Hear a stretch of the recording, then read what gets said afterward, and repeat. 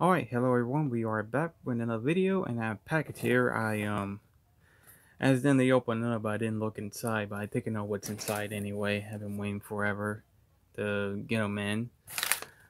Anyway, let's see if we can get into it. I guess he was really packed in there, all this stuff. Let's see. Oh, there he is. There he is. Man, he was really packed in there. Now, Hold on. Let me um get my light. There we go. There he is. In case you don't know who or what this guy is, he is um Exodia from um Yu-Gi-Oh! I've been wanting some more of these um, old school um, Yu-Gi-Oh figures they had way back in, in the day. I think in like the early um, 2000s, maybe. I, I am guessing. I couldn't tell you how old is how old Yu-Gi-Oh it is. Yu-Gi-Oh is pretty old. I think I need to show off my whole entire collection. He's still he's got like his his change right there at the bottom, but He's missing uh, two up here in the front and his fireball, and I don't think he warts anymore. Let me see. Does he work? Don't, don't seem like it. Well, that's Exodia. I mean, I've been wanting him. He's way, way smaller than the other ones. Man, this other one is way bigger than him. This one is the Blue Eye Shining Dragon. Pretty much the evolved form of, yeah, the, um, I'm trying to pronounce his name, Blue Eyes Ultimate Dragon.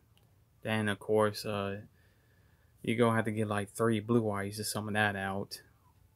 But anyway, enough about that though. Um, he's, he actually does work though.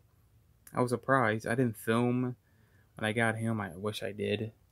But the only thing that's missing on him is the two little, um, I don't know, something like this though. It's something like this, some sort of spikes or whatever go on the side of his face. That's missing, and plus his fireball shooter thing comes out of his mouth. It that's missing too. But he does work though. He's got a little bit of articulation and he's kind of weird though. Of He's kind his gimmick is this. You press this button and just his legs and wings will pop up. I think that's kind of strange to me. That never did happen like in the movie though. Let me fold him back. It's kind of strange how um he's like that. But you know, this is probably like a the early 2000 figure. But anyway, this he sounds like on.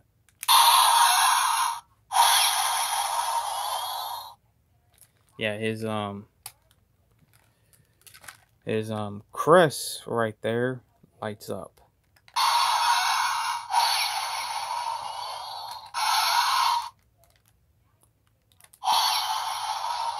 Okay, that's enough out of you. I'm trying to switch him off. Okay, yeah. Still, he's kind of strange, though. Because he does something like that in the movies. He, um, we didn't get this whenever the um, movie dropped. Whenever the Yu-Gi-Oh movie dropped, we got him though. And of course, um, if you went to the like the movie premiere and all that, you will actually get the um, blank, um, some sort of um, blank uh, mystery packs. You get them, and that's gonna be the card that's in the movie a lot of people got this and a dark magician even a Watapon uh, yeah that actually uh, made people like mad. They got like a Watapon because they want like the big cards. Even though some of them didn't get um the pyramid of light also one the main antagonist card that's in the game. Even um Sphinx Teleia and Andro Sphinx.